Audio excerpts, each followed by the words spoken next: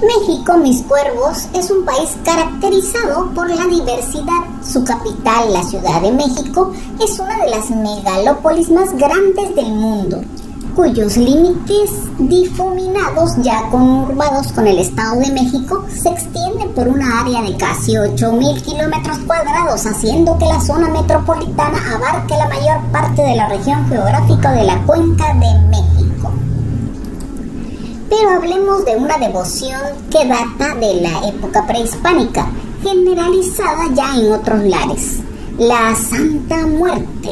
Es una devoción mexicana muy conocida en México y fuera de él. En este trabajo se trata de explicar qué significa la Santa Muerte para sus devotos en su vida cotidiana y en su habitar una de las mayores ciudades del mundo se hace énfasis en la caracterización que hacen los fieles de la santa y en los perjuicios que enfrentan, así como el derrumbe de altares públicos que han ocurrido luego de la declaración de guerra del narco a finales de 2006 en la Ciudad de México, los altares públicos que aún perduran y en general el culto abierto se da en las colonias más vulnerables de la zona urbana también se puede sostener la hipótesis de que la Santa Muerte es una devoción que llega a la ciudad desde los estados circundantes a mediados del siglo pasado, momento en que hubo un boom demográfico en gran medida causado por la migración. El devoto de la Santa Muerte se trata de un creyente de este mundo con necesidades que no han sido solventadas satisfactoriamente por las instituciones, ni por el Estado, ni por las religiosas. Santa Muerte o Santísima Muerte es una figura popular mexicana que personifica la muerte y es objeto de culto. Diversas iglesias como la católica, bautista, presbiteriana, metodista y anglicana, entre otras, rechazan y consideran su veneración considerándolas diabólicas. La Santa Muerte encabeza las procesiones seguidas por el fervor, la pasión y la devoción de los fieles que llenan por miles las calles. La portan con orgullo, la bendicen con polvo de oro, la limpian con mezcal y la purifican con el humo de diversas hierbas e inciensos. Se le ofrendan velas, manzanas, a veces comida, flores de color rosa. Es solo un símbolo. Se les ofrece la comida para agradecer que intercedió ante Dios. Los portadores del amuleto de la Santa Muerte creen ser invulnerables a maleficios y desgracias y que el amuleto atrae el amor y la buena fortuna. La creencia popular se basa en pedirle rezando al santo y a cambio ofrecerle una ofrenda, ofrendas usuales. También pueden ser golosinas, whisky, cigarros y flores. La San Muerte se le nombra en América Central y Sur su culto se extiende desde América Central en territorios de Paraguay y del noreste de Argentina, principalmente en la provincia de Corrientes y en menor medida en Misiones, Chaco, Formosa y al sur de Brasil, Paraná, Santa Catarina, Río Grande del Sur. Desde la década de 1960, debido a las migraciones internas, el culto se ha extendido a ciertas zonas de la provincia de Argentina de Santa Fe, especialmente el Gran Buenos Aires y Jujuy. El culto a San la Muerte, aunque no tiene días canónicos, se considera especiales el Viernes Santo, el Día de los Fieles Difuntos. En Argentina mayormente se le venera el 14 o 15 de agosto en todo el país, en donde también lo hacen el 13 del mismo mes con grandes fiestas populares. El culto a la Santa Muerte se ha extendido en el imaginario social de distintas regiones de América Latina.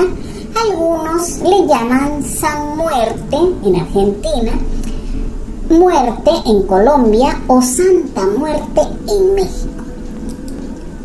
Es en este último país que el culto se muestra versátil, amplio e incluyente, con características que lo hacen único. Los creyentes pasan el tiempo social en torno a la imagen de la Santa Muerte, conscientes de las amenazas del entorno, la violencia la inseguridad, la incertidumbre, buscan refugio en un culto que les provee una supuesta seguridad en el presente, en el aquí, en el ahora, y desplaza el futuro como un horizonte lejano. Durante mucho tiempo se creyó que solo estos que viven al límite de su vida profesan tal creencia, como los policías, narcotraficantes, prostitutas, delincuentes, y uno que otro político. Pero el culto es transversal a distintos grupos sociales niveles socioeconómicos quienes ahora lo muestran públicamente.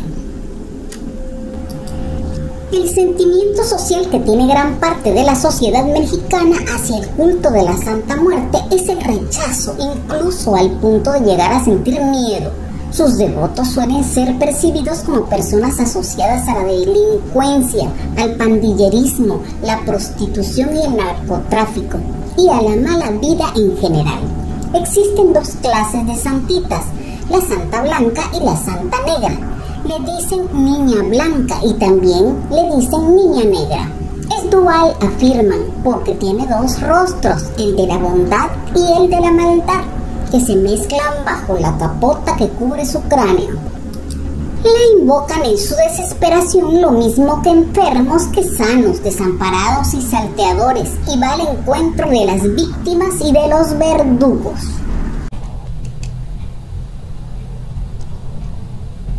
Se dice, se cuenta que un susodicho día Pancracio fue al doctor para una revisión ya que le habían diagnosticado poco tiempo de vida. Él ya había hecho su petición a la santita y para su sorpresa se encontraba curado. Con gran alegría salió del hospital y su doctor quedó desconcertado. Durante un mes llenó de flores el altar, pero poco a poco dejó de ir a cumplir su promesa y después de una semana, a las 3 de la mañana tocaron a su puerta de manera enfurecida. Se asomó por la ventana pero no pudo ver a nadie. Cada día las cosas se tornaban peores al acercarse la hora.